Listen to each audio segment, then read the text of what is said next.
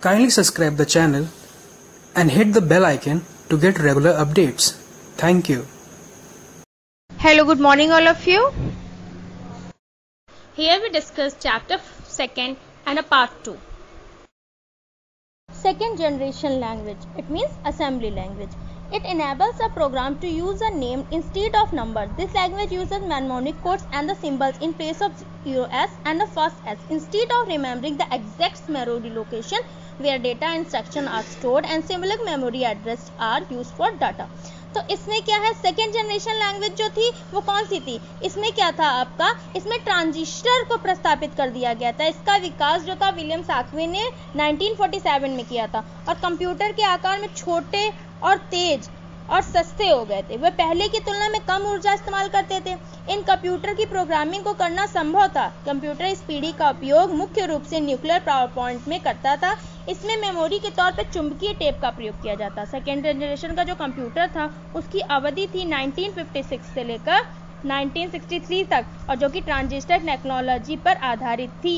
इस बात को आप लोग ध्यान में रखिए। उसके बाद हमारी आती है third generation of language third generation में क्या था? ये तीसरी पीढ़ी के कंप्यूटर में एकृति परिपथ इसमें लिखा हुआ है a high level can be understood by human easily as compare to the previous two languages इसमें क्या है? The restriction in the uses of machine and assembly language prompts people to develop a language with the following feature इसके जो features थे, जो नीचे दिए हुए हैं, उसके हिसाब से किया गया। जैसे कि देखिए आईसी के अंतर्गत बहुत छोटे छोटे ट्रांजिस्टर लगाए जाते थे। इसे सिलिकॉन चिप्स पर लगाया जाता था जिससे अर्धचालक कहा जाता था। ये कंप्यूटर की गति को और बढ़ाता चला गया और धीरे धीरे करके तीनों ही एक आईसी में समाहित हो गए, जिससे कंप्यूटर का आकार बहुत छोटा हो गया और इसका काम करने की गति भी बढ़ जाती। इससे बिजली की खपत जो थी थर्ड जनरेशन में बहुत कम हो गई।